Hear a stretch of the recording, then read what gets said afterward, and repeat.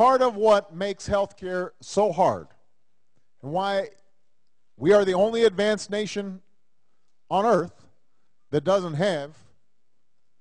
some form of universal health care is because even when the system doesn't work, people still want to kind of cling on to the devil they know because they're worried about the devil they don't.